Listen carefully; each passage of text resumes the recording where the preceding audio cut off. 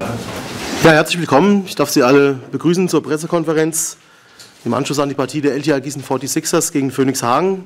Ich begrüße sehr herzlich die Vertreter der Presse und die Zuhörer und Zuseher in den Nebenräumen und ganz besonders herzlich die beiden Coaches auf Seiten von Hagen, Ingo Freier und auf Seiten der Gießen 46ers, Björn Hamsen. Das erste Wort gehört natürlich dem Gästetrainer Ingo Freier. Ihr Statement zum Spiel, bitte. Ja, Glückwunsch an Gießen. Ähm, wir hätten heute gewinnen können. Fünf Minuten vor Schluss haben wir noch geführt. Ähm, schade, dass wir es nicht genutzt haben, dieses Spiel. Ähm, ich bin immer noch sehr, sehr aufgeregt und aufgebracht, weil am Ende, gerade am Ende, standen halt ein paar Leute auf dem Spielfeld, die sowas von schlecht waren, wo ich mich äh, wirklich immer noch nicht richtig beruhigen kann. Ich glaube, wir wissen alle, von wem wir hier sprechen.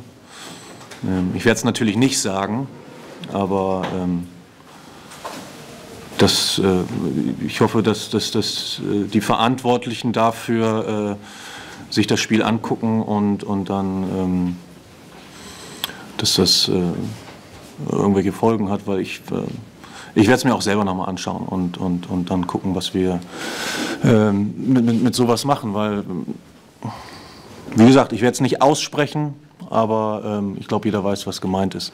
Trotzdem natürlich am Ende äh, Gießen gewonnen dann und äh, am Ende ein bisschen mehr Glück gehabt. Ähm, Glückwunsch.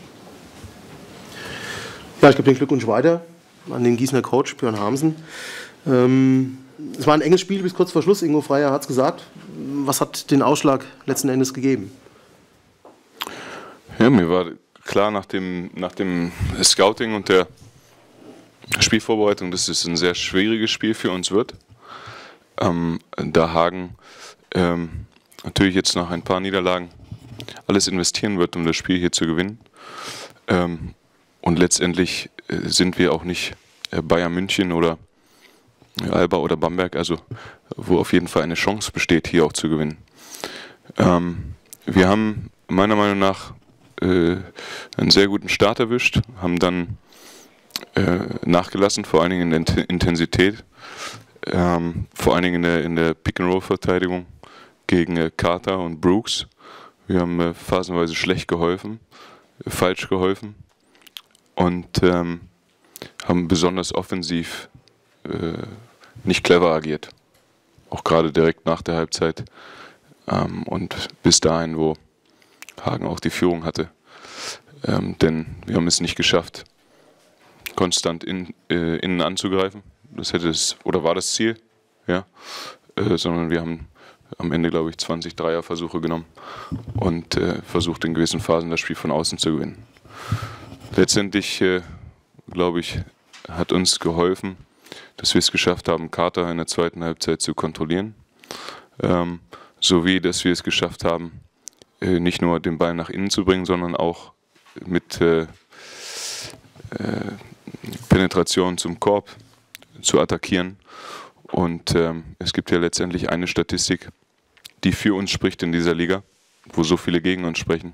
Das ist die Freiwurfquote. Und äh, ich sage mal, umso mehr Freiwürfe wir bekommen und äh, umso mehr wir den Ball nach innen spielen oder zum Korb gehen, äh, umso mehr Punkte werden wir auch machen.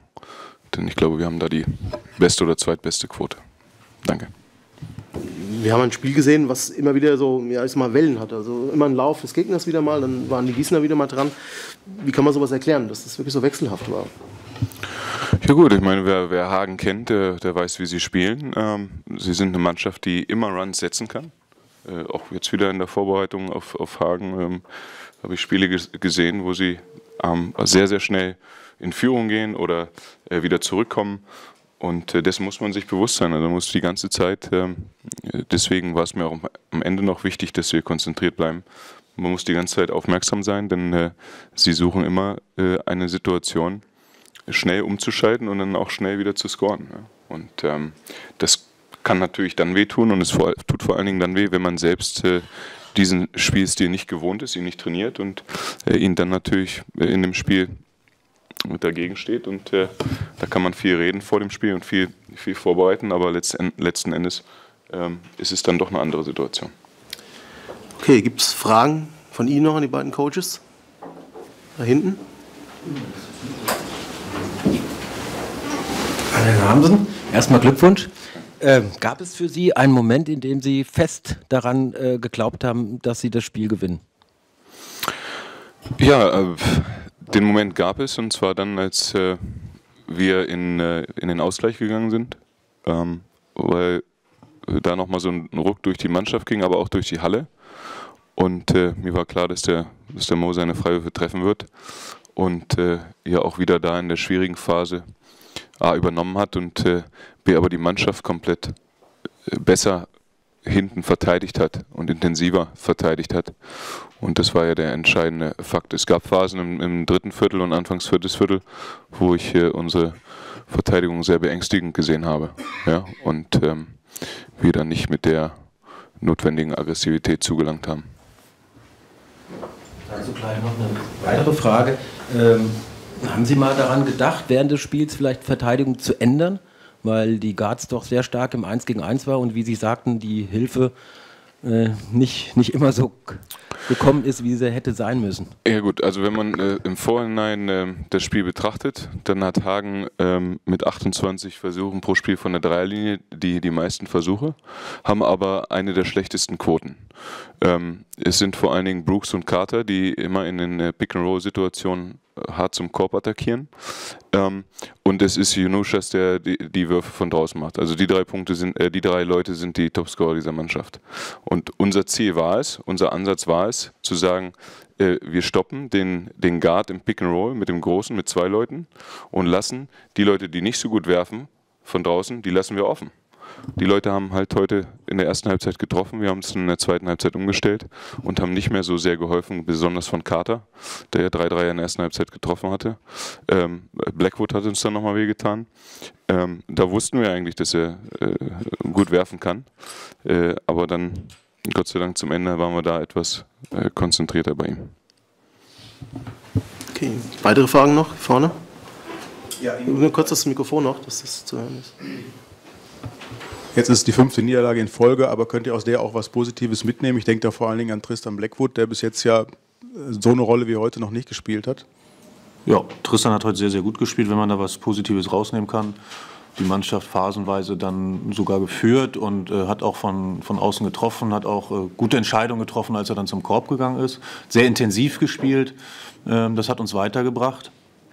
Ähm, und wir haben natürlich noch äh, ordentlich Potenzial. Immerhin fehlt uns ja auch noch ein Spieler wo wir jetzt auf der Suche sind. Und ähm, äh, ja, wenn der vielleicht heute schon dabei gewesen wäre, dann ähm, hätte es vielleicht auch nochmal anders ausgesehen. Aber wir können schon was mitnehmen aus dem Spiel. Da waren auch positive Sachen dabei. Aber im Endeffekt zählt immer nur äh, der Sieg, ja, und das ist halt das Wichtigste. Okay, noch Fragen? Dann habe ich noch die offizielle Zuschauerzahl, das waren 3580 heute Abend.